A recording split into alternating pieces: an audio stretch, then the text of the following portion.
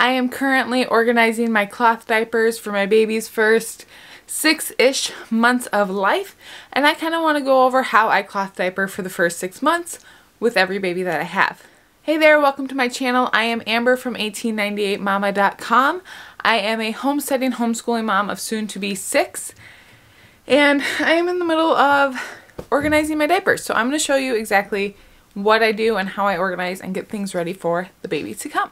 So for the first six-ish six-ish months of life, I use pre-folds, which are just a strand of cloth. Now there's different sizes of pre-folds. I have uh, newborn all the way to, what size is this one? Okay, I don't even know what size this is because it doesn't say. But, baby's awake. But I have a bunch of different sizes. I have had these diapers for, this will be going on my fourth kid now, that have worn these diapers. So I am definitely getting my money's worth and I have saved so much money just by cloth diapering. Even in the first six months, I don't full full-time cloth diaper after that, but um, for the most part I do, but I'm not a full-time after that. However, before six months I am. So I'm going to show you the different sizes and how I do them, how I wash them, all of the things. So with pre-folds, they do come in different sizes, like I said. The orange is the newborn, and I get these from greenmountaindiapers.com. I will link them down below. I'm not an affiliate or anything. It's just where I get my cloth diapers from for the most part. And this is the Cloth-eez. I buy the organic kind. And that's just for the newborn. I wouldn't be too worried about organic like later on, but just until I know for sure that they're not going to react or anything, I like to get the best of the best. So then after the newborn, my babies actually don't even, like maybe up to two weeks they will last in this newborn size. After that, they're on up because my smallest, hold on, my smallest baby is about eight pounds. After that, they're bigger. After newborn is the small, and that's the yellow. And then after that, you go up to novice, and then you can just look on the website after that and see like each size after that. But with the pre-folds, you are going to need a few other items. And that is something to cover the pre-fold in because this soaks up the pee. And obviously if you don't have something covering it, then everything's going to get wet. And then you also need these little, well you don't need these, but these are nice for some folding techniques. These little grippy things. I'll link this down below too. Of these are called snappies.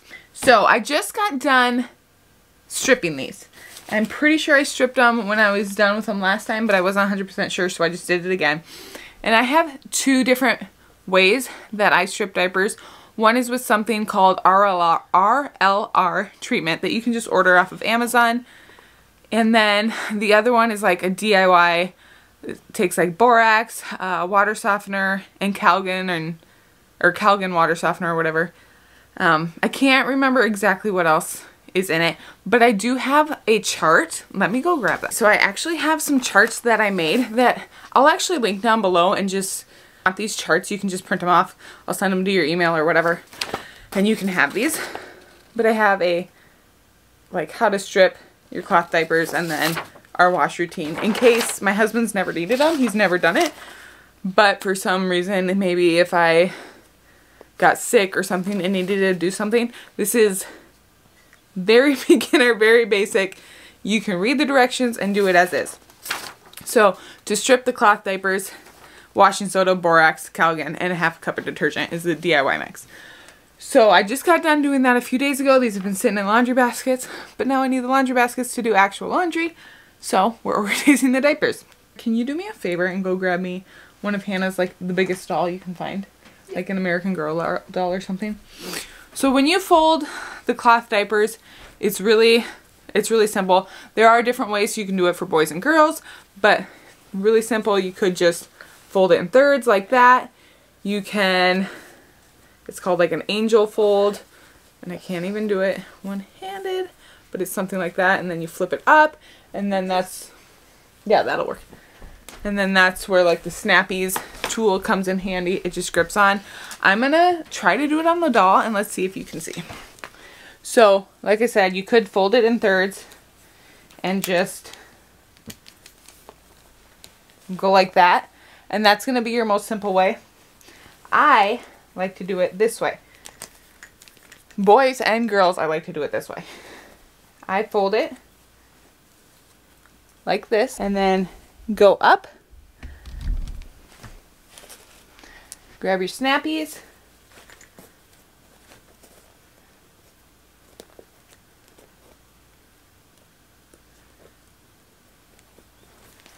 And it just goes on like that. That's how I do it. And then you just grab your cover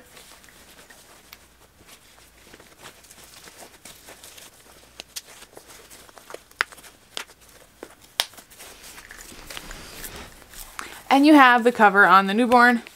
And then if anything's sticking out, you just go like that. Really simple. What's nice about the covers is you don't need as many covers as you have liners because you can actually reuse the covers assuming you're not getting like poop or anything on them. So now that we've got like the basics of the simplest way, or at least I think is the simplest way to do pre-folds, now I'm going to go over kind of my wash routine. And this is actually going to be different based on your water level, um, like hardness level, based on the kind of washer you have, based on the kind of detergent you use. There are so many factors. So there are a few Facebook groups that I am a part of that have really helped me like figure things out. I cannot remember off the top of my head. I will try to link them down below or at least put the names of them in the description box down below so that if you're having problems with your wash routine, you can go and look. But basically you just search like cloth diapering in the Facebook search bar, click on groups, and there's a bunch, and they will help you out. So to wash mine, all that I do is I have a spray thing on my toilet. So until, while they are strictly breastfed, you don't even have to spray the poop or anything. You just throw it straight into the container that you have. I have like an old garbage can and then a cloth liner. Throw it straight in there and then you can throw it right in the washer and get to town or go to town on washing it. Now, once they do, once you do introduce solids, you will have to spray the poop off and then put it in your in your liner. But first six months of life-ish, you don't really have to work. So this is my my specific cloth diaper routine. I start with a pre-wash and I actually told our we got like a really nice fancy washer. It lasted us like three years. So I called up the appliance guy and I was like, hey, I want something that like your grandma owns, something that's gonna last me forever, something that can get used and abused. Give it to me. That's what I want. And he delivered. I got, I mean, it's a newer washer. We've had it now like three or four years, but it's got like, it just looks very old school and I love it. Anyway, pre-wash, you do, so I do a pre-wash, a main wash, and then a dry. Pre-wash is hot water, heavy soil, normal cycle, single rinse. And I do, I use the Tide Original Powder. I have really hard water, so that's what I personally use. I'm okay with using Tide. A lot of people don't like to because they want to use like the free and clears and the organic detergents or like the DIY detergents. I have tried all those. They did not get my diapers clean. So that's why I use Tide and I'm okay. I feel like it's much better than using a disposable diaper anyway. Anyway, and then the second wash, so like once the first wash gets over, I will open my lid and I kind of move things around a little bit and then sometimes I have to add extra things to it. So I'll add like things like these, like burp cloths or um, obviously baby wipes. We have cloth baby wipes too.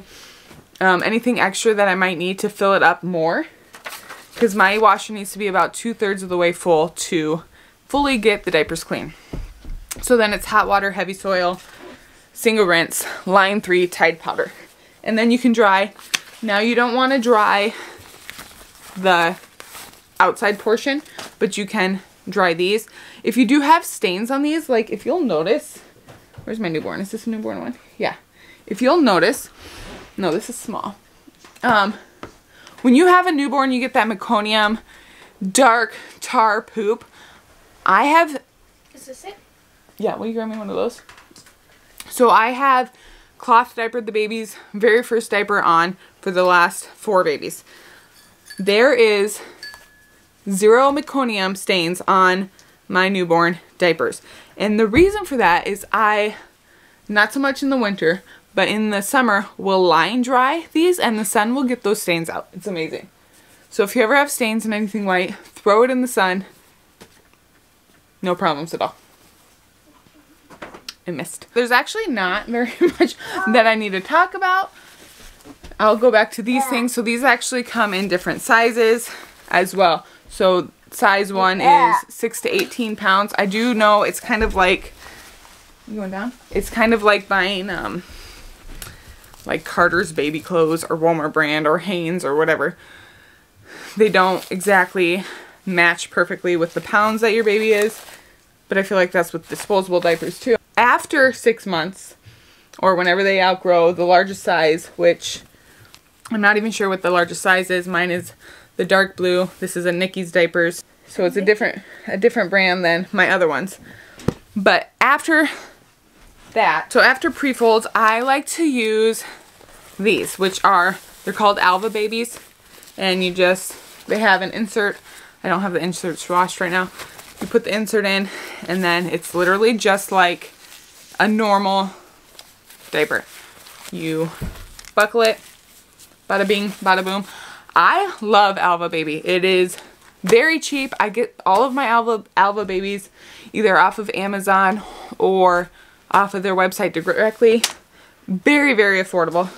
And then I wanted to show you real quick. This is one of my cloth liners. It is, like the elastic is no longer good, but it still works.